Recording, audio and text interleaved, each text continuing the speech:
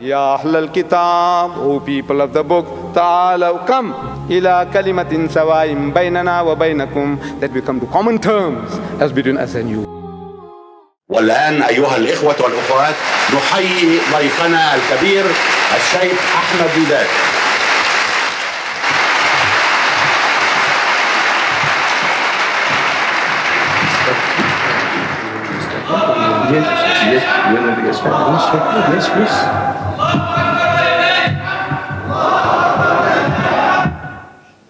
أعوذ بالله من الشيطان الرجيم.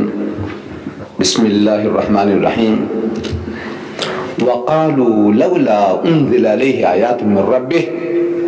قل إنما الآيات عند الله وإنما أنا نذير مبين. أولم يكفهم أنا أنزلنا عليك الكتاب يتلى عليهم. إن في ذلك لرحمة وذكرى لقوم يؤمنون. صدق الله صدق الله العظيم.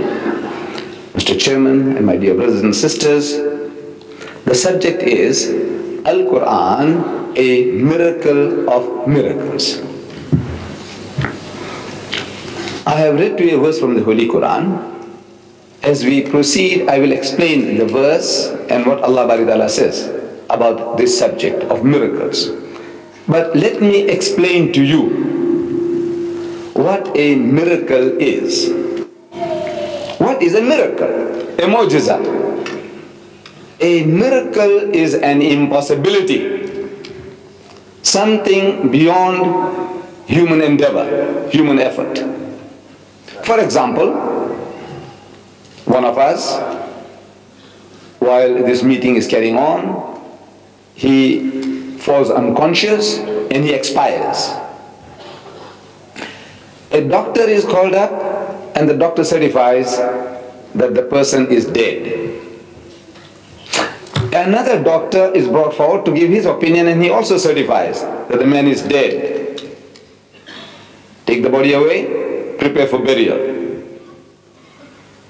But there comes along a man of God, sees this dead person, dead body, and he says, he commands, Kum bi-iznillah, wake up, get up in the name of Allah, and the person gets up, alive and well. We say it's a miracle because it was an impossibility certified by two doctors and yet the person has come back to life. Miracle. But suppose the man was dead for three days, put in a mortuary, in a morgue. And after three days somebody comes along, the man is gone as hard as rock, and he shouts at the corpse, Kum bi'iznillah, arise in, in the name of Allah, and the man comes back from the dead, from the mortuary, from the morgue. We say that is a greater miracle because it's a greater impossibility.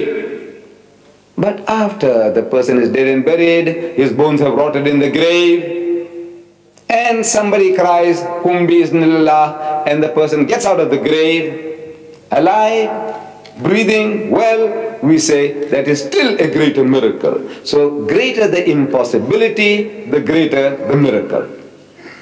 I hope this definition, you know, is simple enough for everybody to grasp.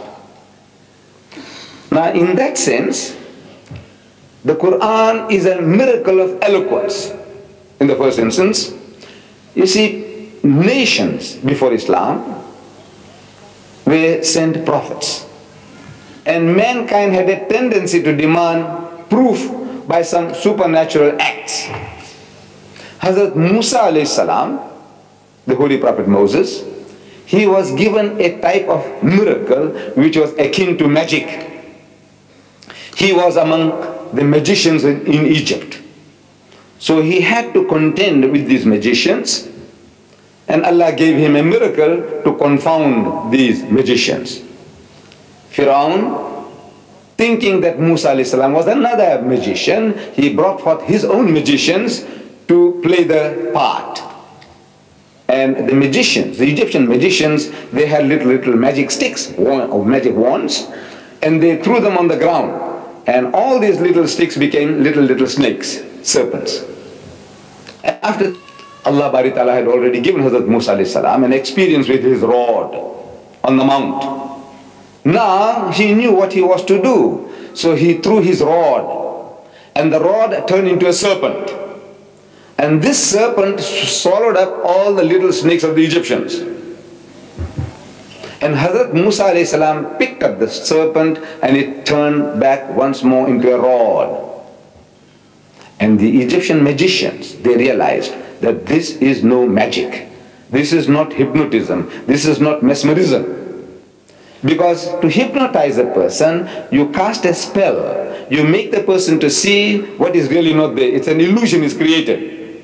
The sticks, you can make it appear like snakes by casting a spell. But here, all the little sticks had vanished.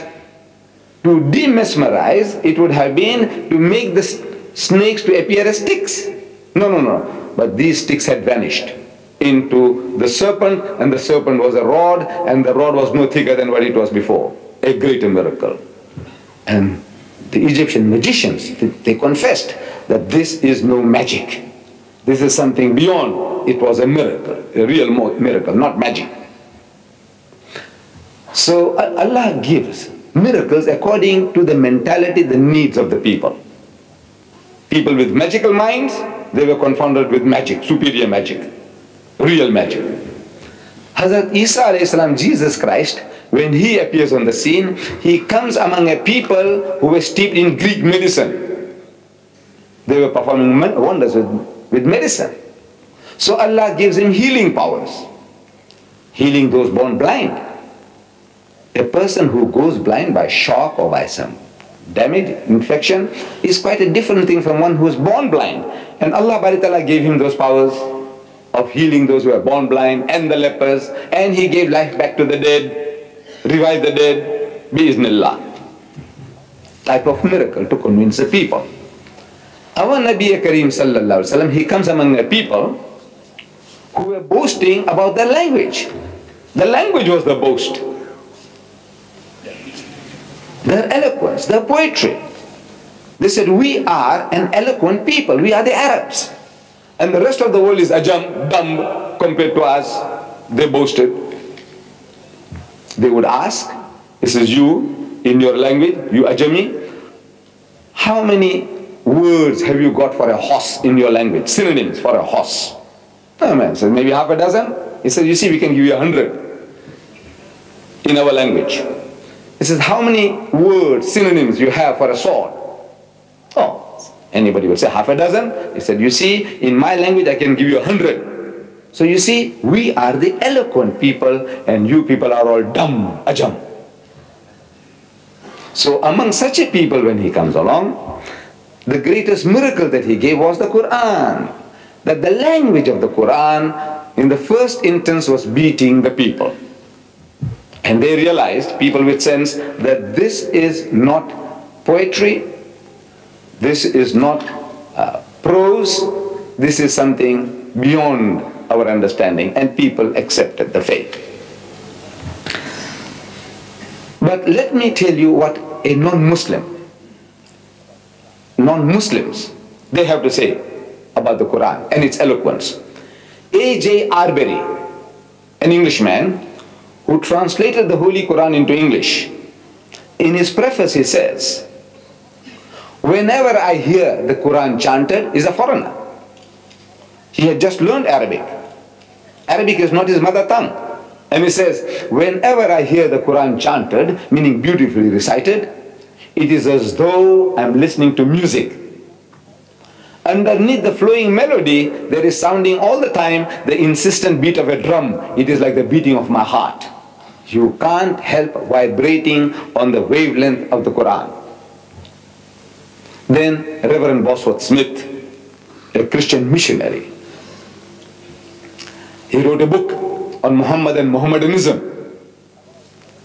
In his book he says about our Nabi Kareem sallallahu and the Holy Quran, he says illiterate himself, an ummi, scarcely able to read or write, he was yet the author of a book which we do not agree, that Muhammad was not the author of the book. He says, according to his belief, understanding that Muhammad is the author of this book.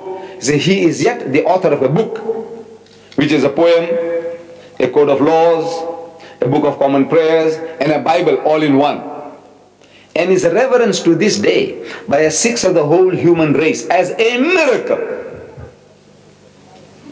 as a miracle of purity, of style, of wisdom and of truth. It is the one miracle claimed by Muhammad. His standing miracle, he called it. And a miracle indeed it is. Without doubt, it is a mu'jiza.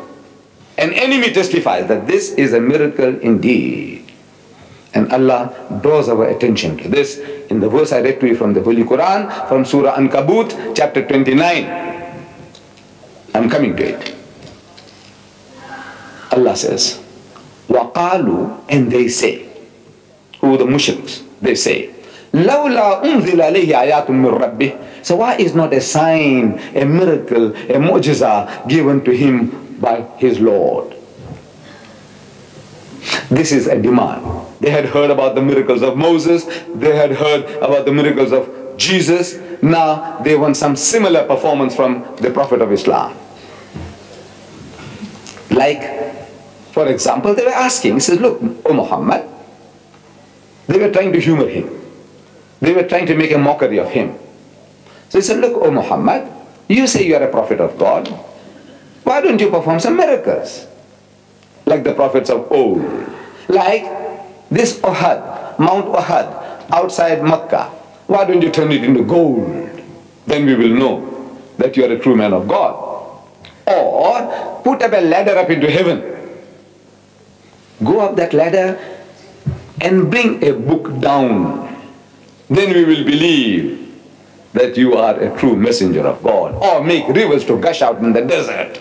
Then we will know that you are somebody that we can hearken to. وقالوا and they say لولا أنزل عليه آيات من ربه in answer to that Allah makes him to say Qul, tell them, innamal ayatu indallah, so most certainly signs, miracles are in the hands of my Lord, is in the hands of Allah. Innama ana naziru mubin. I am only a warner, clear cut, straightforward, plain, simple, warner. Awalam yakfihim. Is this not enough for you? Awalam yakfihim. Anna anzalna alayka al-kitaba. Yutla alayhim. So is this not enough for them? That you rehearse to them, that you read to them a book which we have revealed to you, O Muhammad. This book we have revealed to you, O Muhammad. Is that not enough for them? To you, an ummi, a person who doesn't know how to read or write. You are rehearsing this book to them. Is that not enough in itself that it should be a miracle? You know this human child. This little child, Muhammad, he grew, grew up in front of your eyes. And up to the age of 40, he was like your own child. You know every move he made, every things that he did. You know everything about him. And this man who had had no schooling, now he's coming along and rehearsing the book to them. Is that not enough as a miracle?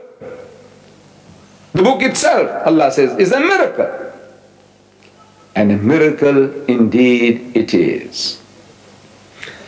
A miracle, in the first instance, we Muslims, we believe that this book is Allah's kalam. Allah Bari Ta'ala revealed it to the Holy Prophet Muhammad sallallahu alaihi wasallam. The enemies of Islam, they agree that this is the book that Muhammad left. Friends and foe alike, they say this is the book that Muhammad left. But they say that this is not Allah's kalam. This is Muhammad's cleverness. Very clever man. So we say, look, he was an ummi, an unlearned person. He said, yes, but wasn't he a very clever man? Wasn't he a great speaker? Wasn't he a great thinker? Ah, we would have to agree that he was. He was exceptionally good in all these qualities.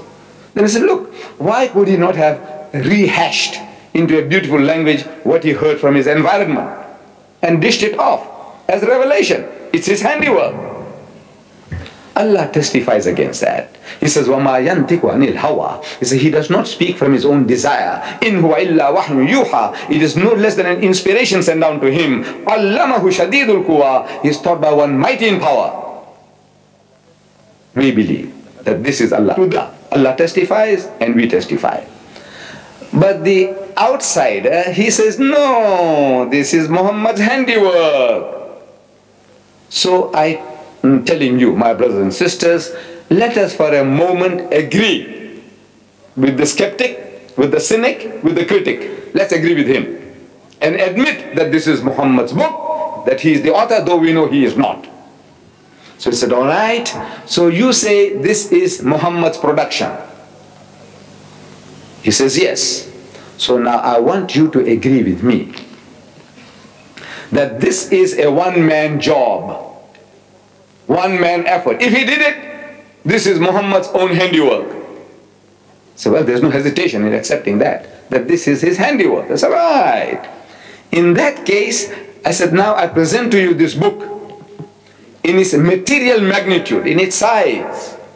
This is one man job. You have here another job which you claim to be Allah's kalam, the Bible. This Bible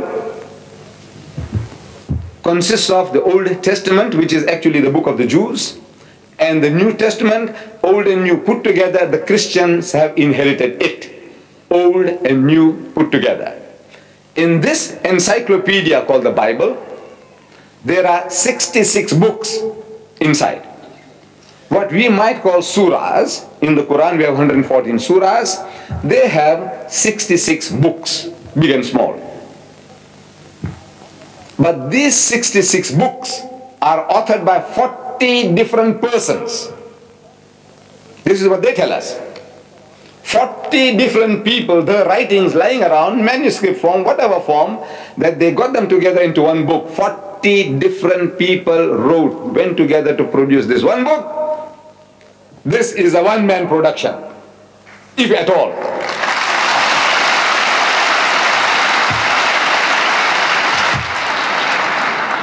Out of those 40 different authors of the Bible, the greatest writer, the most voluminous writer, of all is a person called Saint Paul, the real founder of Christianity, Saint Paul. This Saint Paul wrote more than 50% of the books of the New Testament. There are 27 books in the New Testament. Out of the 27, Paul wrote 14, more than 50%. But those 14 books put together they don't consist more than this, what I'm showing you now, not more than this. 14 put together. The greatest writer, the most learned writer, that's 14 books. This is one man job. On the physical magnitude of it, we say it's a miracle. And this book, the Quran, is not talking anything, everything, filling up, is a filler. No, no, no. It's a very, very concentrated stuff guiding mankind into all aspects of life, solving all his problems for eternity till Yawm al-Qiyamah.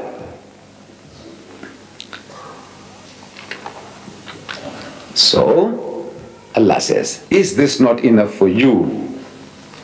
That this book we have given to this man and ummi. Then the contents of the book.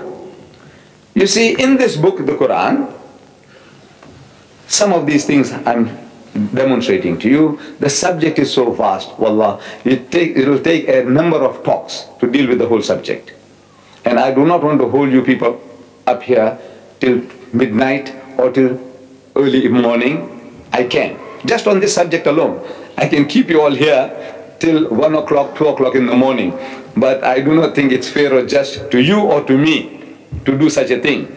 So I will have to curtail a lot of things because I, as a layman, I can give you a dozen different miracles in the Quran. The learned man, perhaps he can give you a hundred miraculous nature of the Quran. I myself, as a layman, I can give you a dozen, which we will not be able to touch tonight, but I give you a few. Number one, the concept of Allah Bari Ta'ala. You see, we know Allah by His attributes.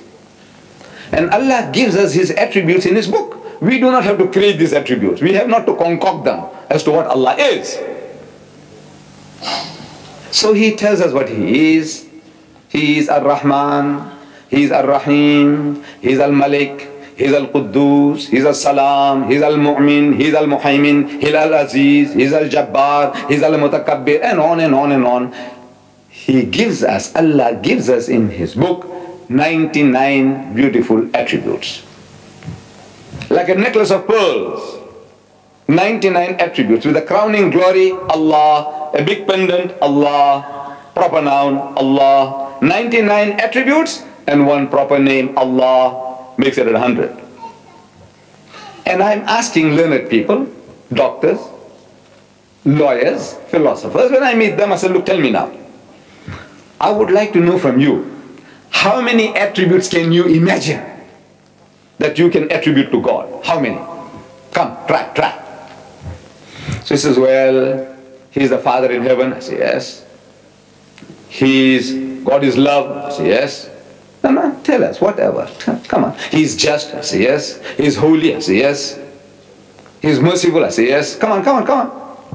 You know the cleverest of us, the cleverest of mankind, the most learned of us, he can't go beyond a dozen.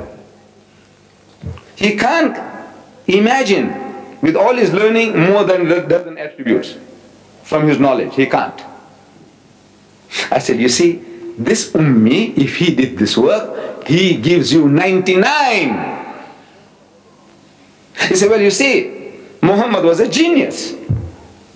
And a genius can do 10 times better than us. He admits, he's a genius. Still, it is not Allah's kalam. The genius can do 10 times better than what I can. I concede that. I take off my hat to Muhammad. He is great, but he is no prophet. He is not a man sent by God. I said, all right, all right, but now look. In the names that you mentioned, in the first six, the first one was the Father in heaven. But let's say, in a number of tries, in the first half a dozen, you can't help using the word father. This Abbana, so our Father which art in heaven, hallowed be thy name, thy kingdom, O our Father, the loving Father in heaven. The first half a dozen you must come out with the word Father. He said, yes, anybody. If you try, the Father is there, is dangling before everybody because the Christians have made it famous. The Jews were calling him the Father in heaven. And the Christians call him the Father in heaven. The commonest, this word, Father. I said, you know what? In the list of 99, this word Father is not there. That is a miracle. See, the miracle is that the thing that is being dangled before him for 23 years, people are talking about the Father in heaven, the Father in heaven, easiest to take. He doesn't take it, he doesn't catch it either consciously or unconsciously. We know it's not his word. It's Allah Bari Ta'ala. He's making him not to use the word ab. In Arabic, it's easier than Rabb. He's Alhamdulillah Rabbil Alameen. He's the Lord, cherisher, sustainer of the worlds. He's Rabb, Rabb, Rabb. And Rabb is harder than Ab in Hebrew as well as in Arabic.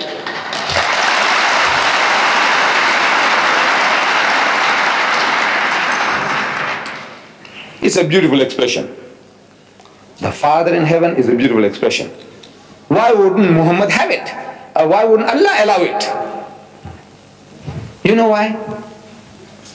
Because this word, this name, this attribute, beautiful attribute, has been abused. It's a beautiful attribute. Words have a tendency to change the meanings. Good words, beautiful words, innocent words, like the word comrade, you see, this word comrade is like sahab, my friend, my companion. Companion means in French, person who break bread together, that we eat together. He is my companion.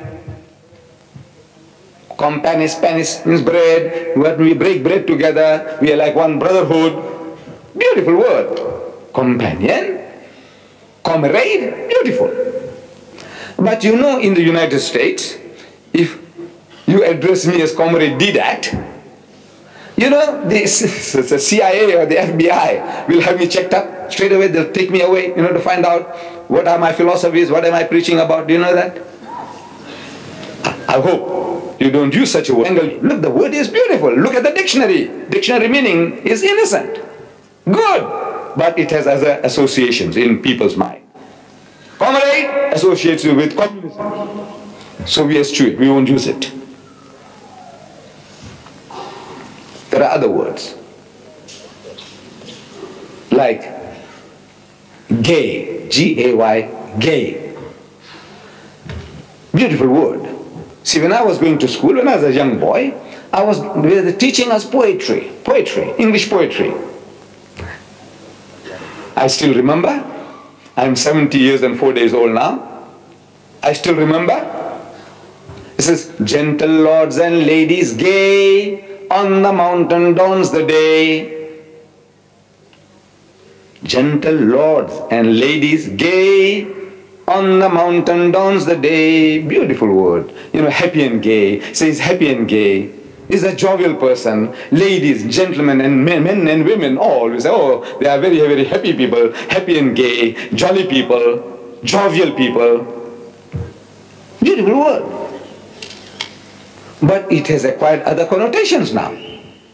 As I was growing up, I'm reading the newspapers and I read this word gay in there and it creates some fishy smell. And I don't know what they're talking about. Gay. Gay. It's not the gay that I learned at school. You know, something fishy about it. I didn't catch it for a long time. I couldn't catch it. You know, whenever the word gay occurred in the newspapers, I couldn't catch such a beautiful word. What is this? What they're talking about? It smells. But what the smell is about, because I was using it, gay, I would say I'm happy and gay. Today, if you say that our chairman is happy and gay, you know, you want to shoot me.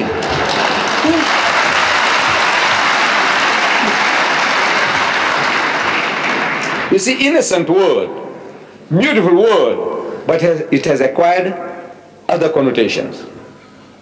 Allah tells in the Quran,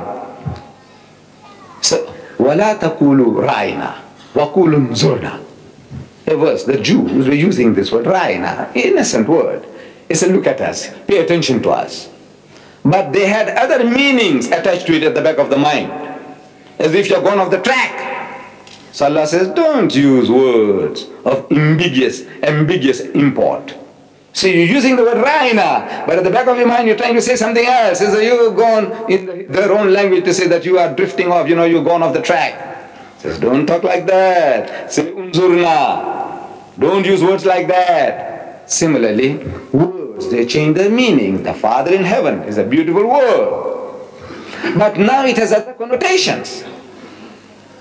In Christendom, they tell us that Jesus is the only begotten Son.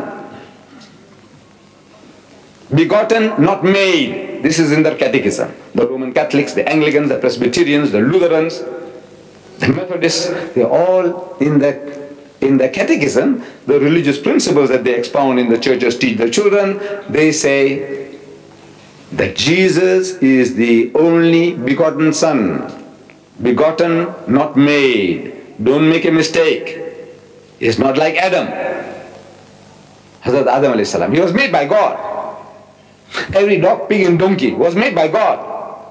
As such, Allah is the creator, sustainer, evolver, He is Rabbul Alameen.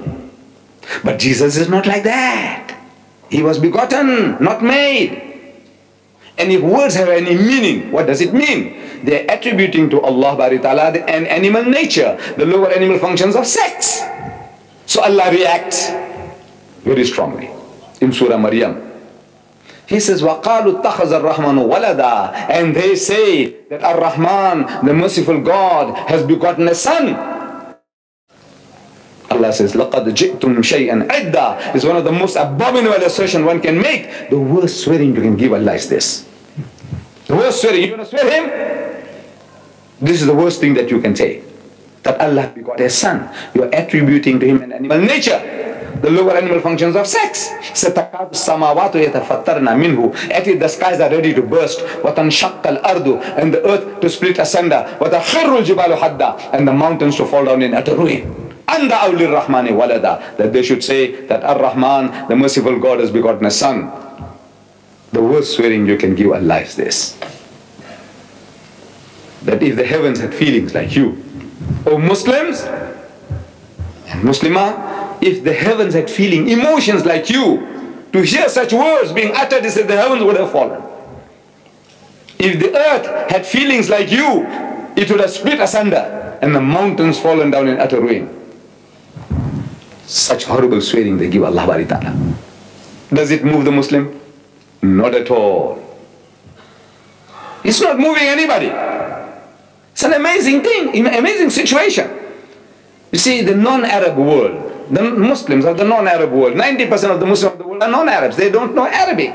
We have been taught the Quran to read parrot fashion. We read it. Sometimes we read far more beautiful than many Arabs. Some of our Hafiz and Qaris.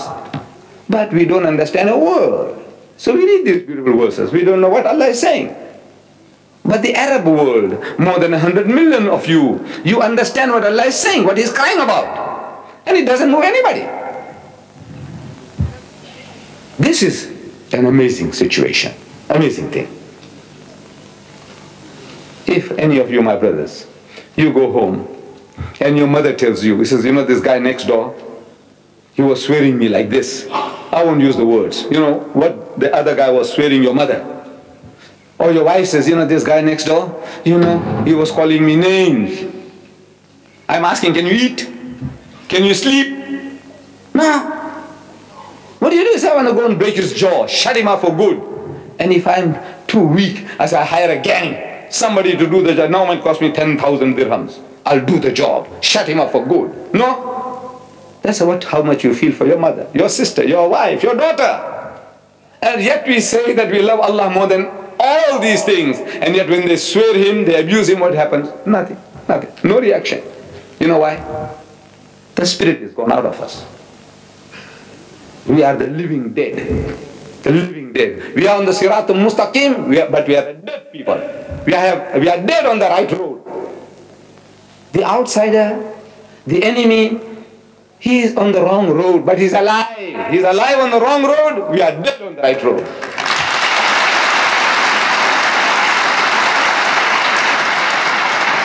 So Allah reacts. Allah reacts. The worst swearing you can give me is this. What are we to do? I said, talk to them. Reason with them. I don't say go and break the jaws. I don't say go and shoot them, kill them, cut the throats. No, no, no. Allah says, Udu ila sabili rabbika hikmati. Invite all to the ways of thy Lord with wisdom, wal mawazatil hasanati, and with beautiful preaching, wajadilhum billati ahsan, and reason with them in the ways that are best and most gracious. And I show you, show you some little ways, little ways. I go to the West. I go to England. I go to America. I talk to them. I says, you know, English is a foreign language to me, which it is. It's a foreign language. I acquired this, you know, from because they conquered my country and I went to a British colony, so they taught me English, so I learned English. If the French had conquered my country, I would be speaking French. If the Spanish had conquered my country, I would be speaking Spanish. But you Britishers, you English-speaking people conquered my country, so you taught me to speak English. So I'm speaking English to you. But look, it's a foreign language to me. I want you to help me with your language. You say, you say, you say in your catechism that Jesus is the only begotten Son. Begotten, not made. I say, will you please explain to me what you are trying to emphasize? You are trying to tell me something special. You see, I call any young man here, my son, my son, and I'm sure you won't mind, the child won't mind it, nor will the father and the mother mind it, calling your child my son. But if some person, not knowing our relationship, wants to know, is he really your son? So then I have to tell you, no, you see, this young man, I like this little child. He reminds me of my son at home, my grandchild at home, so I call him my son. And he loves me like a father, like a grandfather, like an old uncle. So he calls me uncle, or he calls me grandpa, whatever. That is a relationship. But instead, if I said, yes, he is my begotten son, you know what I'm saying? What I'm insinuating? Horrible. I'm insinuating that the child is illegitimate. He's not his father's son, he's mine. I'm responsible for his birth. The worst swearing I can give him is that. If you know the meaning. So I just want to know what you are trying to emphasize. That's all. What you're trying to tell me, please explain. And wallah, I tell you, you won't come across an English-speaking person who will explain to you. There's no harder blow you can give him than to plead with him, please explain what are you trying to tell me? What do you mean when you say begotten, not made? What are you trying to tell me? How did it come about? Tell me. The nearest, in all my experience, the nearest to an explanation came from an American See, the American is very militant. He is. We must give him credit. He's a fighter. And a fighter is good material. He's the best material to deal with. Not diplomats, you know, beating around the bush and and cutting favor with you and patting you on the back. Hypocrites. No, no, no. Let's have a straightforward a fight, an intellectual battle. And the American is good for that. He's a man. So an American, I had him, you know, with some people as visitors to the masjid. I, am, I happen to be one of the guides to the largest mosque in the southern hemisphere in my town, in Durban. And while I was guiding him, this subject cropped up, and I asked him the question, this question, because I was asking everybody, nobody answers it. I'm asking him, this American. I said, what do you mean? Says, when you say begotten, not made. Will you please explain? He said, yes, it means sire. God. So what? He said, no, no, I don't mean that, but you ask me what it means, I'm telling you what it means.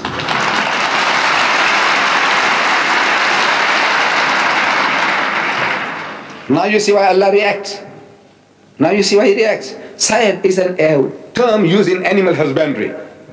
You see, they keep pedigrees of horses and they tell you the father of this horse and the mother was so-and-so and the great-grandmother of this horse was so-and-so and the great-grandfather was so-and-so and on and on. Pedigrees of horses, pedigrees of cows, bulls, the pedigree. So where they originate? Who was the great-grandfather of that bull?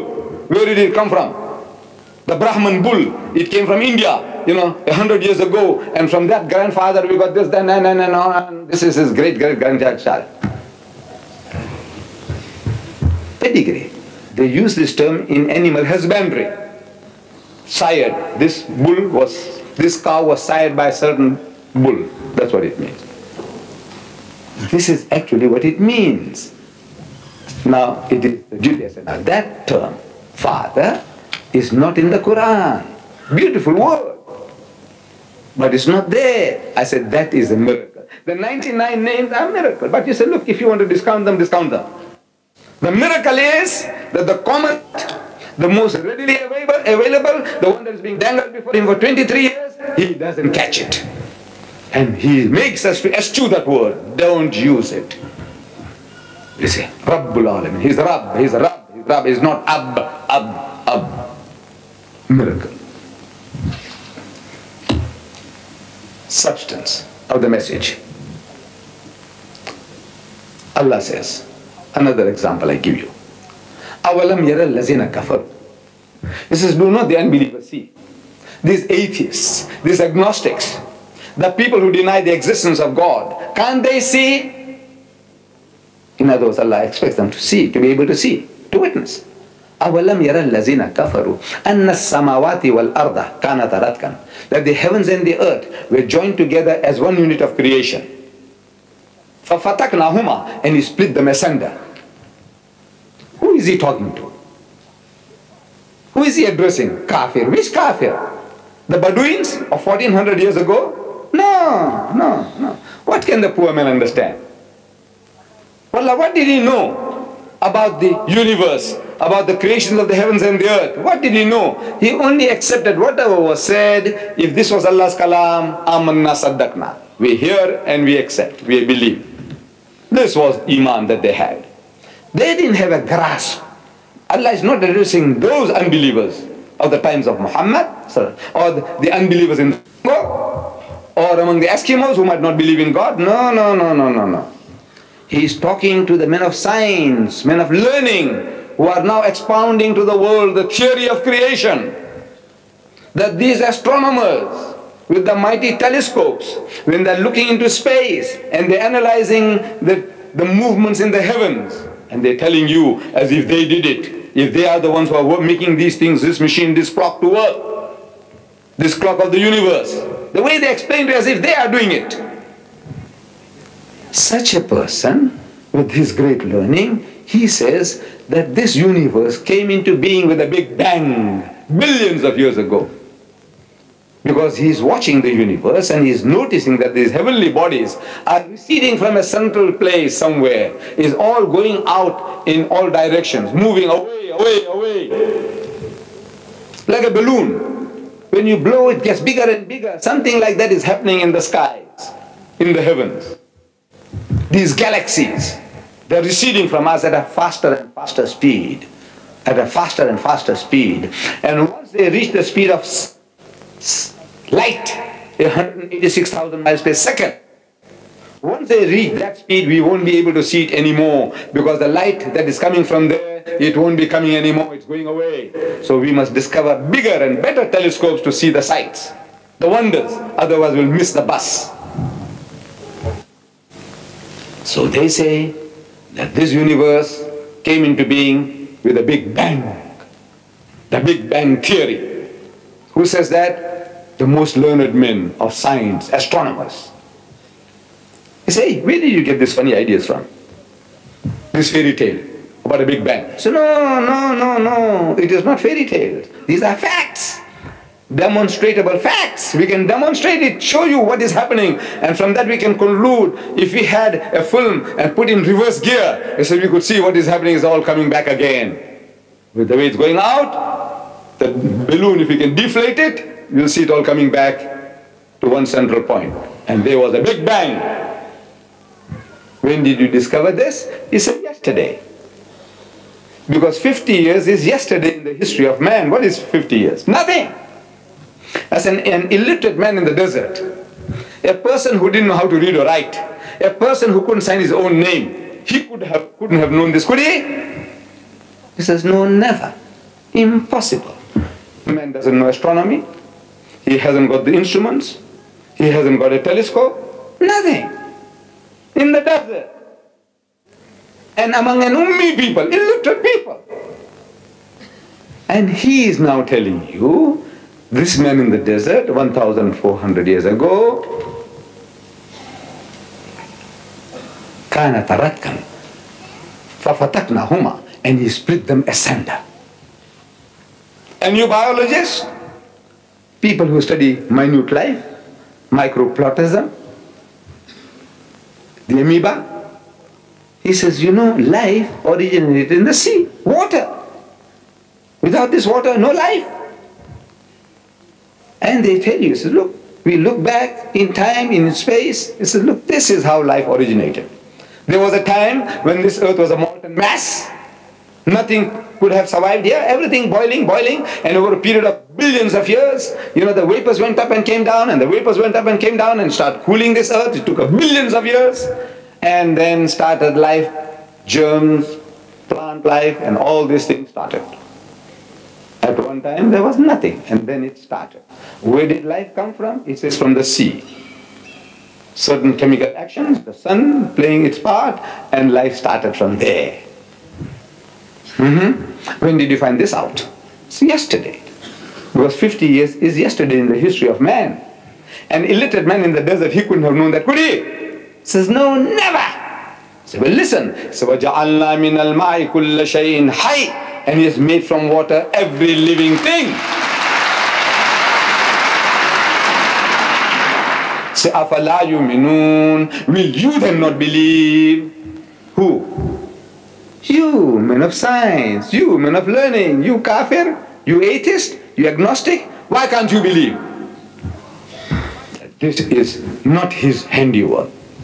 As Allah says, أولم يكفهم أنا أنزلنا عليك الكتاب يتلى عليهم إن في ذلك لرحمة وذكرى لقوم يؤمنون And these are signs,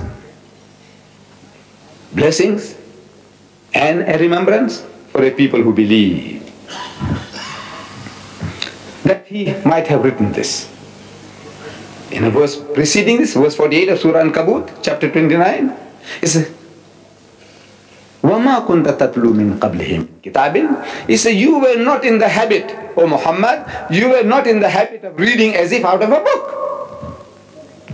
وَلَا تَخُطُّهُ بِيَمِينِكَ Nor were you able to transcribe it with your right hand. Is al-lartab al-mubtilun. In that case, these talkers of vanity, these babblers in the marketplaces, they might have had some reason to doubt. Muhammad was a learned man. He says, you see, he was in a certain university, and you know, now he's telling you these things, his theories. Yes, they might have some reason to doubt if he had been through that schooling, if the Arabs had some knowledge or understanding of science, learning, nothing. Allah shows you that He sends you an, an ummi prophet to an ummi people. Amazing. He chooses a nation steeped in ignorance, the whole of Arabia there were no more than half a dozen people that could read or write in the whole of Arabia. The nation is ummi to the core. And he chooses the ummi prophet. You know To prove to you that this is my work. This is I am doing.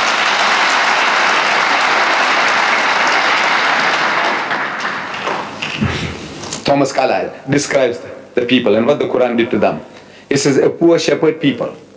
These Arabs a poor shepherd people, roaming unnoticed in his deserts in the creation of the world.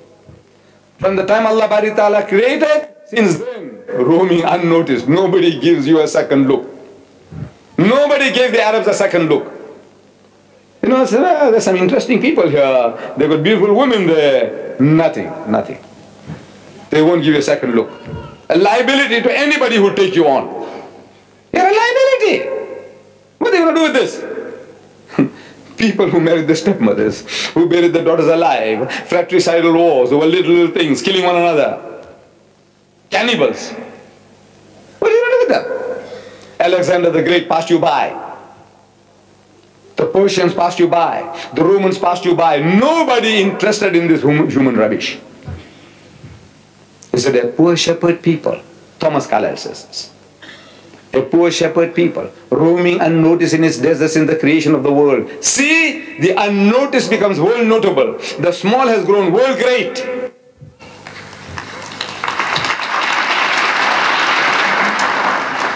Within one century afterwards, within one century afterwards, Arabia is a Granada on this hand and a Delhi on that glancing in valor and splendor and the light of genius, Arabia shines over a great section of the world. He says, belief is great, life-giving. The history of a nation becomes fruitful, soul-elevating, great, so soon as it believes. Is it not? As if a spark had fallen. One spark on a world of what seemed black unnoticeable sand. But lo, the sand proves explosive powder, blazes heaven high from Delhi to Granada. What did it? This book of God that shepherds and camel drivers, one of our cousins, a Jew, writing a book on medicine, he's having a dig at his Arab cousins. A Jew. He's writing about medicine, but he's having his own. He's having a dig at us. You know what he says? He says, goat herds and camel drivers sitting on the throne of the Caesars. This is what these Arabs, goat herds and camel drivers sitting on the throne of the Caesars. This is Allah's work. You see, not you. You couldn't have done it. Allah is showing you. He said, look, this is what I can do. He's having a dig. But I said, there can't be a greater tribute than that. That from that, goat herds and camel drivers, Allah made you supreme, made you to rule half the known world. This is his book. This is what he did. And it can do the same once more again. It's a book, a miracle of miracles in the vegetable kingdom, in the animal kingdom, and of things that we don't know, which are all recent discoveries. He says, Subhanallah, khalaq al-azwaja kullaha. He says, glory be to him who has created mates of everything. Mimma tumbitul ardu, of that which the earth produces, the vegetable kingdom. Wamin anfusikum, and from among yourselves, the animal kingdom. And wamimma la ya'lamun and of things that you don't know. Makes of everything. It's a recent discovery that even plants, flowers have sexes. There are some flowers that have male and female in itself. There are other plants and trees, they are separate sexes, like the date palm. The male tree is different from the female tree. I'm sure you Arabs know that. See, we didn't know that. Mankind didn't know that. In the time of the Prophet, they didn't know that. Our Nabi Kareem sallallahu sallam in Medina, he saw some Arabs, these some of his children, the Arabs, little children, they were taking some flowers from the male tree and they were hitting on the female plant. So when Nabi asked them, asked the people, he said, why are they doing that? He said, we don't know. He said, no, he said, we saw our fathers doing it. Now this was the pet explanation for all the superstitions. They're worshipping idols and images. Why? Said, we found our fathers doing that. When you do such and such a thing, you know, and horrible things, he said, why? He said, we saw our fathers doing that.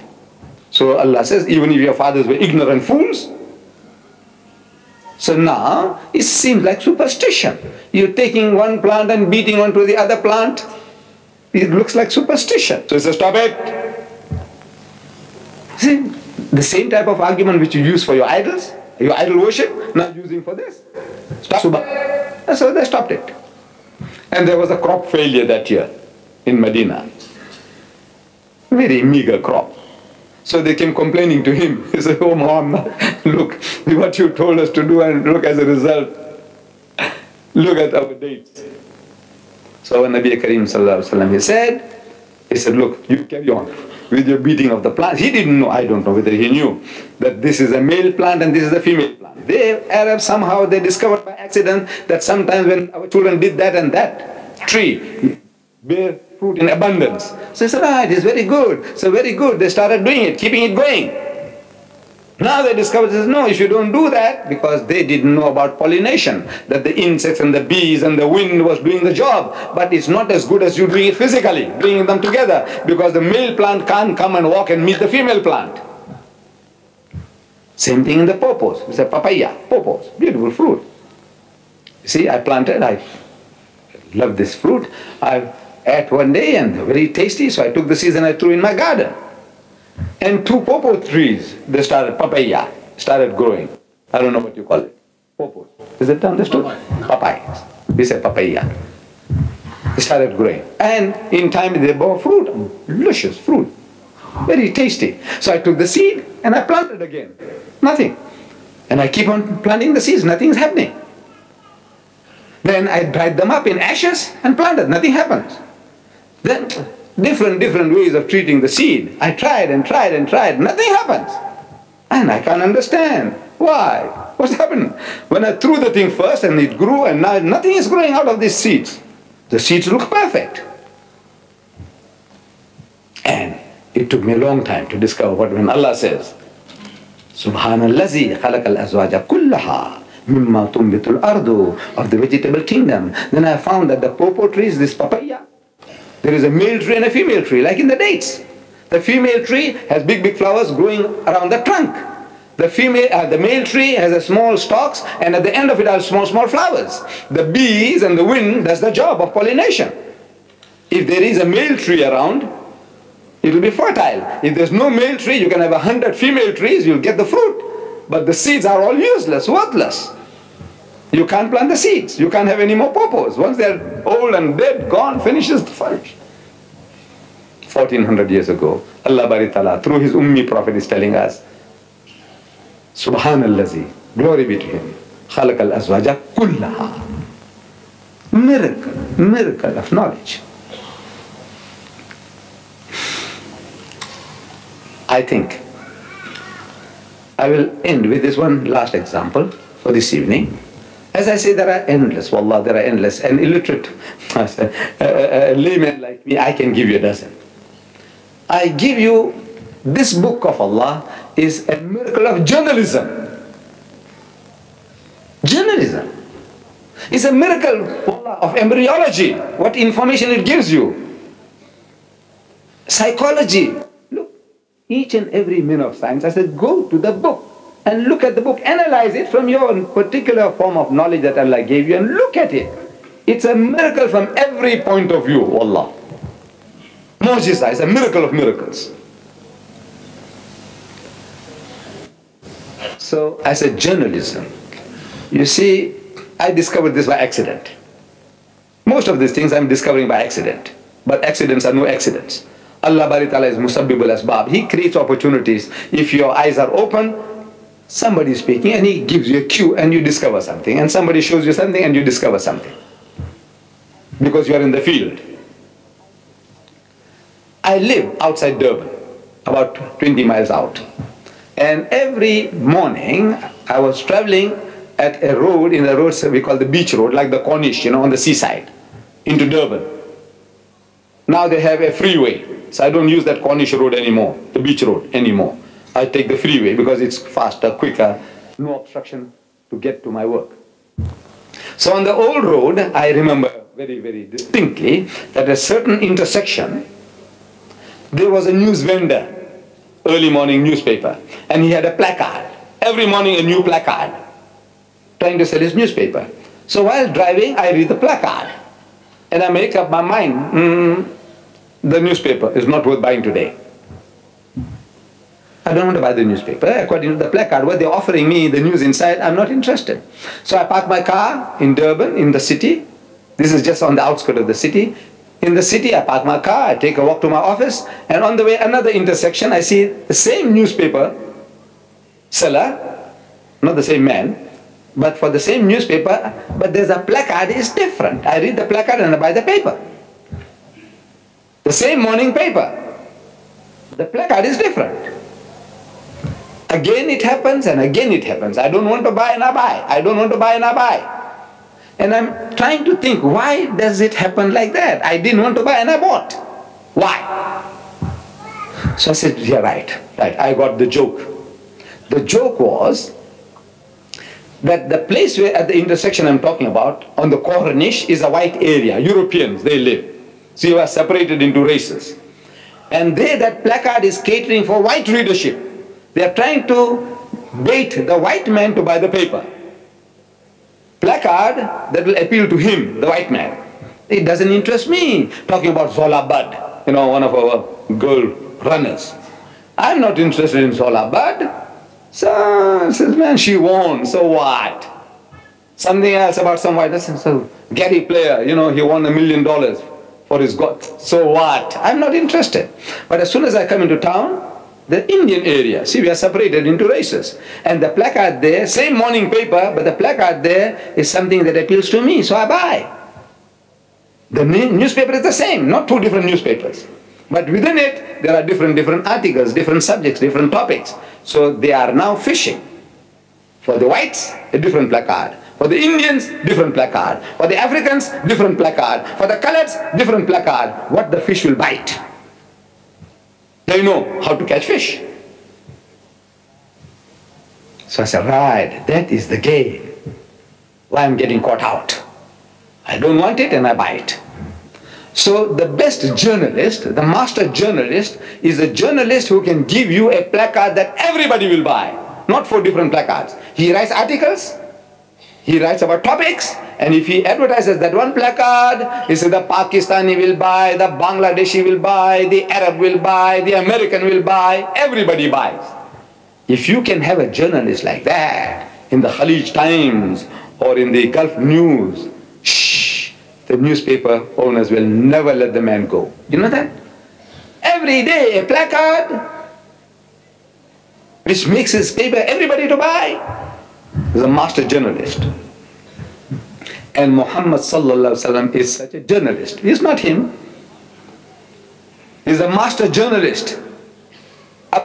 The omniscient, knowing his creation, knowing how to how to bait you, how to catch you how to get people be attracted to his book. He's showing you. Our Nabi Kareem is in Medina. He's surrounded by mushriks, his own people, mushriks. He's surrounded by munafiqs. He's surrounded by Muslims. He's surrounded by Jews. He's surrounded by Christians. Five different groups of people. And you want to sell your newspaper. The idea, your proclamation. How do you catch fish like that? Five different groups of people. Listen. He says, not he, Allah through him, using him as a mouthpiece. He says, Wahal ataka hadiso Musa. Has the story of Moses reached you? Think, think. A proclamation. Has the story of Moses reached you? The Jew wants to know. When he hears that, Wahalataka, Hadisu Musa, what does he know about Musa? Watch, see how he makes a fool of himself. And the Christian, he says, look man, where is now dabbling into un- uh, unknown ground now? And the, the mushrik, he said, we'll watch the fun now, what the Jews and the Christians do to him now. And the Muslim, hungry, he says, yes, we want to know, what about Musa? Everybody is agog. Everybody wants to know what? Say, Isra'a naran, when you saw a fire, dramatization, visualization. You can visualize the scene. قال لأهلهم كسوا إني آنست نارا لعلي آتيكم منها بقبس أو أجد على النار هدى says behold he tells his family I see a fire and perhaps I'll get a burning brand from there or some guidance at the fire illusions giving ideas he's talking about fire he's talking about guidance Allah Baritala is baiting him he's actually baiting him because he's hungry for fire, he's hungry for guidance. You see, after the mishap in Egypt, when he had killed an Egyptian, in trying to defend a Jew, he slapped an Egyptian too hard and he was a mighty strong man, Hazrat Musa salam. He was no weakling. He gave this man a slap and the man fell and he died. And he had to flee from the country. He killed an Egyptian. Unforgivable crime. He goes into Midian and there he helps two girls in distress. They were trying to water the sheep and goats, and the other men folk were taking unfair advantage over the because of their weakness. And Hazrat Musa salam goes to the rescue, and he helps them to water the sheep and goats. They go and tell the father, he says, you know, there's a young man at the well, and he's a very young, very handsome fellow, and he's very good-hearted, and you know, Dad, if you can have him with us, you know, he'll be a great asset. So go and bring him.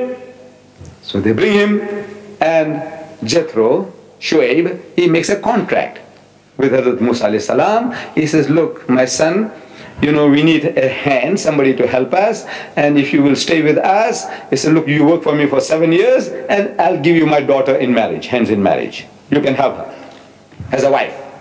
Oh, the bargain is struck and he fulfills his seven years and he gets his wife and maybe another seven years and he's got quarter dozen children or half a dozen children.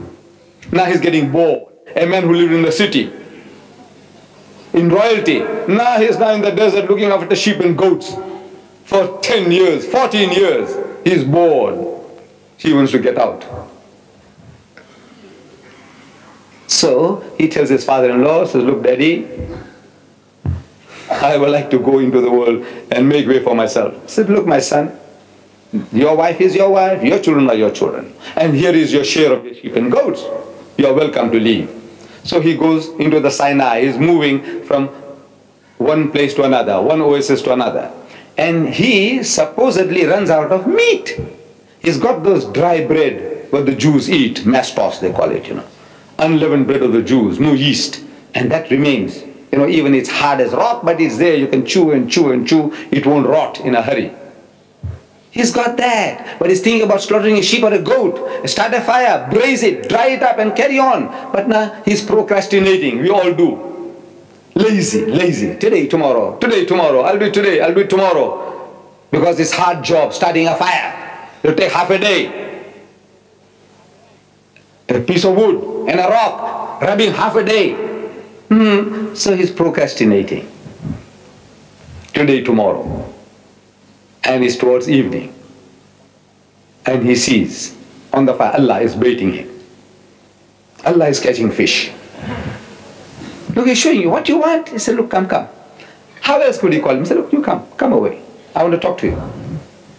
But he knows that this man at the back of his mind is thinking of fire and he's also thinking what is the next best place, oasis that he can go to. So he's baiting him with that. What he wants, he's hungry for, he's baiting with that. So he says to his family, Behold, I see a fire. Perhaps I'll get a burning brand from there, a burning coal. And then, shh, very easy to start a fire. And no time. Fire started. Easy. See, easy fire. And some guidance at the fire. To the next best oasis. Women, good habitation, good people, hospitable people. He said you go three, three days this way, two days that side, and you'll come across a people, very good people. Allah wants to give him a fire and a guidance. But he's thinking of other fire and other guidance. Illusion.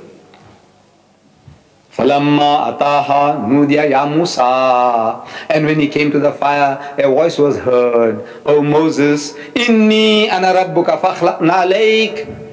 Says, I am your Lord, and take off your shoes. Wadi al muqaddasi tuwa, for thou art in the sacred valley of Tuwa. Four verses, four ayats. And what what he has told you. A miracle of journalism. How to attract people to listen to the message, a placard, a better Halataka, Hadith of Musa, an allusion to fire, fire that burns in the hearts of man for 3,000 years, a guidance which is guiding mankind for thousands of years. Allah, this is how, this is the miracle of miracles. Now, what does it hold for us? This book is Allah's kalam, without doubt. And Allah Ta'ala is challenging mankind. Qul, tell them. These people, these skeptics, these unbelievers, tell them, قُلْ لَيْنِ اجْتَمَعَتِ الْإِنسُ وَالْجِنُّ عَلَىٰ أَنْ يَأْتُوا بِمِثْلِ هَذَا الْقُرْآنِ that if the gatherings of jinns and men, if they were to gather together to produce the like of this Quran, say, لَا يَعْتُونَ بِمِثْلِهِ وَلَوْ كَانَ بَعْضُهُمْ لِبَعْضٍ زَهِيرًا It says, you will never be able to produce the like thereof, even if you help one another, back one another with help and support. This is the book. Allah says, this is my book. What does it mean for us? It means that this book is an eternal book of guidance for you and for me, for the whole of mankind. It's the solution to the problems of mankind. But we are all sitting on this book like a cobra on a pile of wealth. We won't have access to it. We are reading it, we are reciting it for beautification, for sawab, sawab, sawab, blessings, blessings. I say you will get your sawab. There's no doubt about that. The Holy Prophet Muhammad sallallahu alaihi wasallam he said that when you recite the Quran and when you say alif lam mim, say alif lam mim is not a word. There are three letters, alif lam mim. When you say alif lam mim, it says you get 10, 10, 10 sawabs. 30 sawabs. While I'm uttering I got it so many times already. And you listening, you got it already. I said alif lam mim, 30, 30, 10, 10, 10. If I say it a hundred times, a hundred times ten. You got it. So easy. I believe in that. Sawab is there, blessings are there, benefits are there. But is that the purpose of the Quran? Just cheap sawab you want to get? Look, you can get a millionfold reward. This is 10 to 1. You, you want to do business? 10 to 1. When you do million to 1. Bihayra hisab, without accounting. As I do business with him, Allah. I like to do business with him. Bihayra hisab. I don't want 10, 10, 10. You be satisfied with your 10, 10, 10. You will get it. I do business with my Lord, He is prepared to give you bighayr hisab if you will only take it, accept it, and implement it in your life. It's a book of instructions. It's instructing you what to do. It's telling you this honor He has given you, share it with people. Don't be selfish. We are a selfish lot of people. Muslims, we are selfish. Wallah, we are very selfish. Everywhere. I ask my brother, you are very regular in your salat, mashallah. I want to know who you making salat for. He said, for my benefit. For your benefit. MashaAllah. I say, you fast for one whole month. He said, yes. I said, for whose benefit? He said, my benefit. Yes, yes, your benefit. He says, you give zakat. He said, yes. For whose benefit? Said, my benefit. You go for Hajj. He said, yes. For whose benefit? Said, my benefit. Everything you're doing for my benefit, my benefit, my benefit. I said, what are you doing for other man? What are you doing for him? For the unbeliever. You believe he's going to hell? The mushrik. He said, yes. Definite, he says, definite. Allah says so. One thing he will not forgive is shirk. And they are going to go to hell. He said, yes. What you trying, what you doing to save them? Nothing. So Allah will be very happy with you. They're not his makhluk, not his creation. Allah will be happy. You allow them to go to hell and you did nothing. You know, he gave us a slogan. 1400 years ago, he gave the Muslims a slogan. We call it talbiyah in Arabic. I don't know literally what it means. But this is what I learned when I came, when I went for Hajj in 1983. I was hearing words. You know what people do when they go around the Kaaba, they read Labbaik, Allahumma Labbaik, Labbaik. I was hearing, and I, more or less I learned that. But I didn't see the import, the implication of that. I didn't see it. Until when I started going around myself. लब्बैक अल्लाहुम्मा लब्बैक La sharika la लक लब्बैक इन्नल हम्दा वन नि'मता लक वल मुल्क ला शरीका लक And I found that by the time I finished off and the people finished off, the dullest, dullest of us, the people with little intelligence, the least of us, everyone by the time he finishes, he knows the words La Sharika Lak, La Sharika Lak, La Sharika Lak. So what is that? You telling Allah that He has no associates, He has no partners, He has no equals, He has no compeers. That's what you're saying. La sharika lak, la sharika lak. But this is not true. This is not true. Because as soon as you return from where you come, there are more shirks abounding. There are more people on God's good earth who are worshipping men and monkeys, elephants and snakes today. Worshipping shaitan today than the worshippers of Allah. And you said, La sharika lak. We all take from Makkah, Medina, we take with us Zamzam water from Makkah, we take dates from Makkah, and we buy a lot of things very cheap in Makkah, and we load ourselves and we take them home, and we take the title Haji. We are the Haji, Hadil Hajj.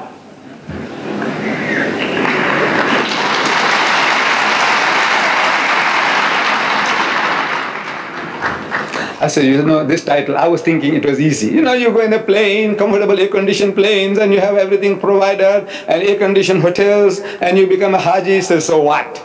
But Wallah, I tell you, I can testify that if you've been through the process, you deserve the title Haji.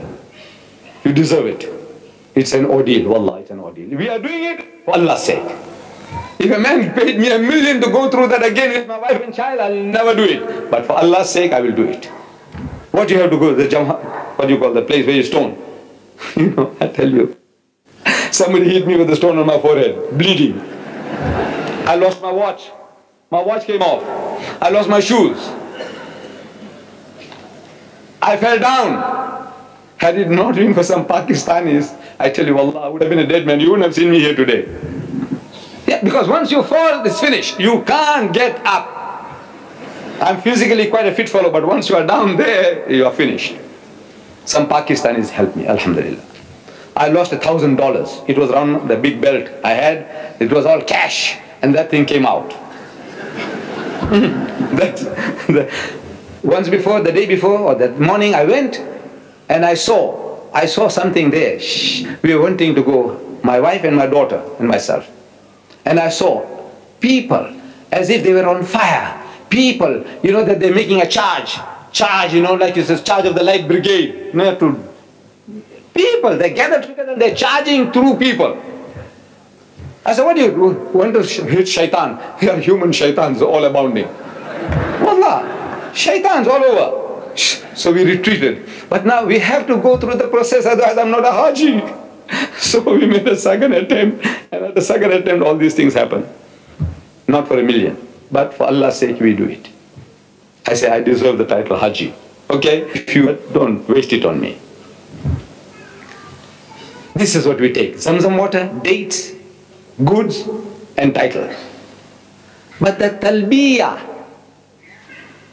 the talbiyah, you said, La sharika lak. This is the slogan. The United Nations, they have the different commissions, and every year they come out with a slogan. This is water year. Save it. Use it. Don't abuse it. This is the age, this is the year for the aged. It says an old age home is not her destiny. Your mother, when she grows old, don't put her in an old age home. This is year for planting trees. Wherever they pass resolution, the whole world of the United Nations, wherever they are, they talk about the same thing, water, water, water, trees, trees, trees, old age people, old age. This is the purpose of a slogan. Carry it out. 1400 years, we are crying, La sharika lak, La sharika lak. And we leave it behind. The thing that we are supposed to take with, we are supposed to bring with, we leave that behind. And we bring dates and some some water. Yes. Because wherever you go, in India, you Hajis, you Pakistanis, you go to West, you go wherever you go, in South Africa, there are people doing shirk.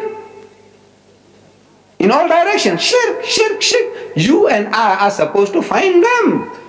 So La Sharika you are supposed to tell them, La Sharika Lak. Allah has no associate. Don't associate anybody, be, any being with Him. This is your job. We are supposed to do. We are supposed to stand in the marketplace doing Allah's work. Our Nabi Kareem Sallallahu Alaihi Wasallam. Look at the example. He used to retire to Ghar Hira, Jabal al-Nur, before Nubuwa. He used to go there sometimes alone, sometimes with his dear wife Ummul Mu'minin Khadijatul Kubra. He used to spend days and weeks there at times to commune with the Almighty. What was actually happening, the details I do not know. What was the details about that experience of his? It's only after Nubuwa we have a detailed record of what transpired. What was happening between him and his Lord, I don't know. But on the 27th of the month of Ramadan, don't start questioning me about the 27th. This is generally accepted. On the 27th of the month of Ramadan, when he was 40 years old, Allah Bari Ta'ala sends his angel, Akhi Jibreel, to him in the cave and commands him in his mother tongue, Iqra, which means read, or recite, or rehearse, or repeat. And our Nabi Kareem sallallahu alaihi being an ummi, he says, Ma ana biqari. There's a testimony that he can't read. He's telling, he says, look, ma ana biqari. He said, I'm not learned. So the angel of God commands him a second time, Iqra. Again he pleads. He says, ma ana biqari. He's terrified. The third time the angel of God says, Iqra bismi alladhi khalaq. So read in the name of thy Lord and Cherisher who created. Now he grasps that what he was required to do was to repeat. Because this Arabic word Iqra, I'm given to understand, means to read, to recite, to repeat, to re rehearse, to repeat. And he repeated the words, Iqra bismi alladhi khalaq. Read in the name of the Lord and Cherisher who created.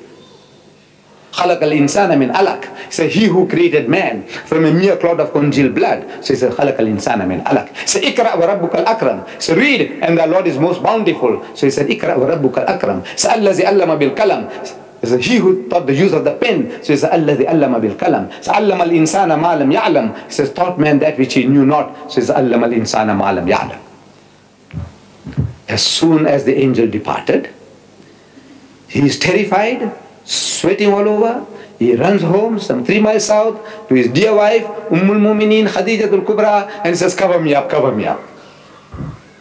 When he gets out of his excitement, he explains to her what he had seen and what he had heard.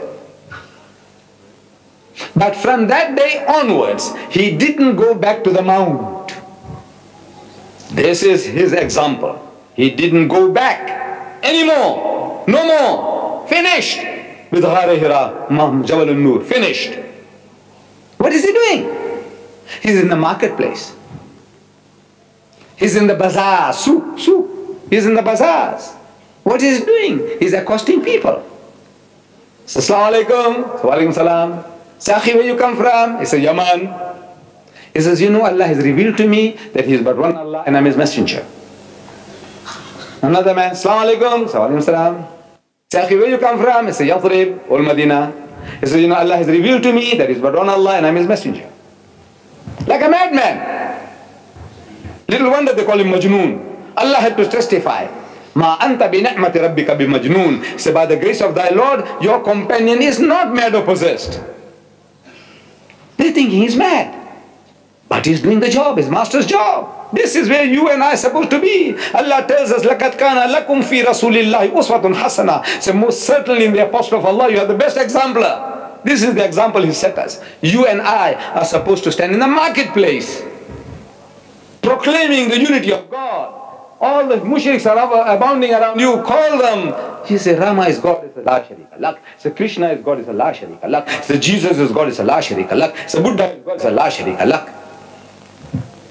This is your job, my job. But I know you are terrified.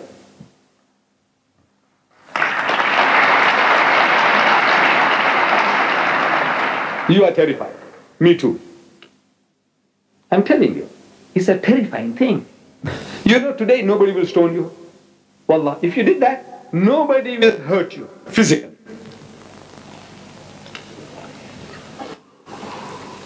And what are we afraid of? Of ridicule. What will people say? So Deedat is gone off his rocker. Deedat is mad. The Sheikh is mad. Dr. Billah is mad.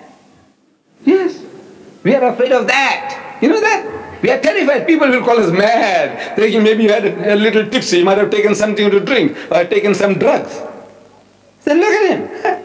This man standing in the marketplace in the street corner shouting, Allahu Akbar, shouting, La Sharika Lak. He's mad. We are terrified of that. I said, you know, there is another way. You can get out of the difficulty. We discovered it. You see, necessity is the mother of invention. Necessity. You want to do something? Then you find ways and means.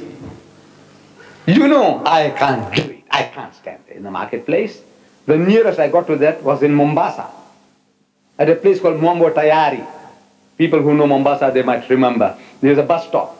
I went and delivered lectures in the, in the, in the, market, in, in, in, in the bus stop on, on, on, on a drum. I stood on a drum and with a mic in my hand, I started lecturing. Because the people there, they were doing that, that kind of thing, it encouraged me. But in Durban, I, I can't, in London, hmm, I can't do it. I did it there because it looked like everybody was mad like me, so it didn't matter. I said the second best thing. I said necessity is the mother of invention. We invented an idea. He said, look, you know, today we are able of capturing these jinns, jinns. You know, old people, they talk about, you know, making, we say, tabe, you know, controlling jinns, that you can call them and make them to do things. Like Aladdin is a wonderful lamb. You rub the lamb and the jinn comes along and you tell him what to do for you. That kind of people, you know, there's jinns under your control. These modern jinns, TV stations, radios, TVs, TVs, monitors, VCR. They are jinns under your control. I said, use them, man. You can't do it yourself. So we said, look, I'll show you. It is so easy. Look, in Durban, a country in South Africa, you know the land of apartheid, a racist country, very oppressive. The whole world is like the polecat of the world, stinking. That nation stinks. My nation stinks. But that nation gives me this freedom. Look at this. It's given me that freedom in the streets, in the shops, in the bazaar. Look what I'm doing. I put the monitor in the window. You know, 24 hours a day, I can make it to do the work. Deedat is talking.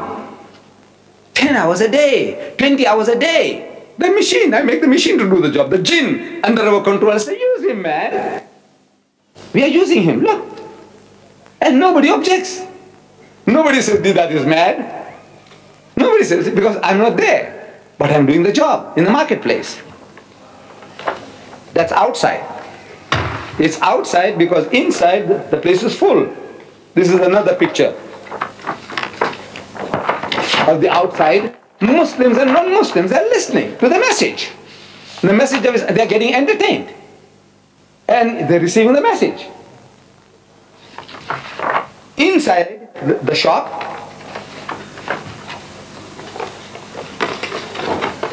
inside, people sit in comfort. People sit in comfort and watch inside, the same thing. We have a monitor inside the shop, we have a monitor outside. When the place inside is full, they say, let them watch outside. Look, there's so many ways of killing a cat, if you want to. Look at it. Then in that color conscious country, racist country, we use the masjid as a bait. You know, Allah baited Hazrat Musa with a fire. So we bait these people to come to the mosque. What for? They think they'll see, come and see something nice and funny in the mosque. They don't know the difference between a mosque and a temple. So when we say visit the largest mosque in the southern hemisphere, they think it's a temple. This is another name for a temple, a synonymous term for a temple, a Hindu temple. So they think they'll see all the monkey gods and elephant gods and snake gods all lined up. One English lady on a world tour, when she came into the masjid and when we explained to her things, she said, you know, I expected to find a funny oriental museum a la carte. Meaning that a monkey god for Monday, an elephant god for Tuesday, a snake god for Wednesday, all the gods lined up. But instead, she says, I found the truth. Another Afrikaner lady, the ruling race, she brings her daughters during the school holidays. And she looks around the mosque and she's disappointed. What she came looking for? She says, where are the cows? You know cows, bakara, milking cows, cows. I said, madam, have you lost your cows? She said, no, no, no. I promised to show them to my daughters. I said, madam, you have come to the wrong place. So she said, but I promised them. I said, madam, is that my fault? You cows in the mosque? I said, no, no, no. You, you can see cows, my people, my people. Wallah, they are my people. I said, Umgeni Road, a little, a couple of kilometers away from the masjid. In Umgeni Road is the largest temple in South Africa. And you'll see everything that you want to see cows, monkeys, elephants, snakes, everything. My people, they look like me, speak the same language. They have the same surnames like me. You know that? Morarji Desai. You heard the name? He was the prime minister of the largest democracy in the world. He's my maternal uncle, Mamu, we call him. He drinks his own urine, six to eight ounces every day. That's my nation. I'm not ashamed. See, Allah took me out of it. I'm proud of that. Some Arabs, you know, Alhamdulillah, they came to my part of the country and they spoke to my people. They came to do business. And in the process, my ancestors, they said, these are good people. We also like to be one of you. They said, very easy, give your hand. So my ancestors gave the hand and they became Muslim. Had it not been for the Arabs, the urine of the cow, I would still be sprinkling on myself. Yes. I said, therefore, my father, every time we met an Arab, as a young boy, he shook hands and he kissed the hand. And I also kissed every Arab's hand. My father was reminding me, he said, look, had it not been for these people, we would be where our cousins are still. So they're looking for cows in the mosque. They're looking for statues in the mosque. It's an opportunity. God sent opportunity to explain to them. There is no better place than to deliver the message than in the masjid. So we make the masjid as an attraction. Here, an African, a man who is looked down upon in South Africa, the, at the bottommost rung of the ladder, an African. This African is talking to European children, whites, Jews and Christians. He's talking to them about the unity of God. Look, they have come there not for that, for a lesson in theology. They have come there to be entertained.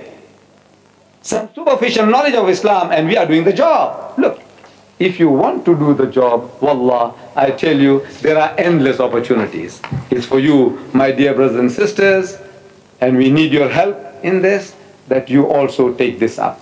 Start opening your mouth. Share what knowledge Allah has given you. And in that, you don't have to be an expert.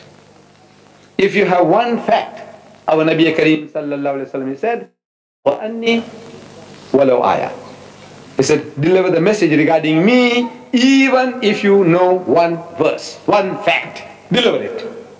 Just talk, that one fact. Talk, talk, talk, and Allah will give you more. This is the secret of learning. Give what you have, and Allah will fill you up with more.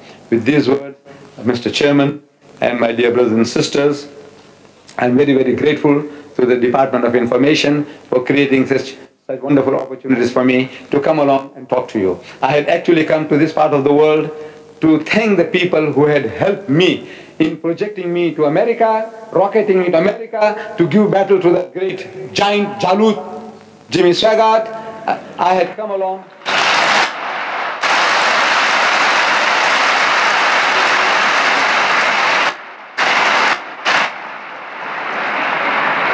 That was my that was my real purpose in coming to this part of the world. But as soon as I arrived, there are hazards, dangers in every job. And my job, you know, because you're a talker, as soon as you come, it's now Mr. Deedat, we want you on the radio. Now Mr. Deedat, we want you on, on TV. Now Mr. Deedat, come and talk to us. These are the hazards of my occupation. I just can't help it. And so therefore now, you see, I had to plan. This lecture, I said, now as soon as I talk, I must run from here to Dubai, get away from here, because you people won't give me peace in the hotel where I am. So immediately after this, if people will allow me to get out as quick as possible, there's a motor car waiting outside to drop me, I don't know how many miles from here to Dubai, and there, if I deliver a lecture again, I must run. I have to run away from my fans. You know, I, I like it, I enjoy it, but it's a bit too much for this old machine. You know, it's 70 years, 70 and four days, 70 years and four days old now. So I hope you'll have a little extra mercy on me, kindness on me, to allow me to go out peacefully. وآخر الدعوانا الحمد لله رب العالمين.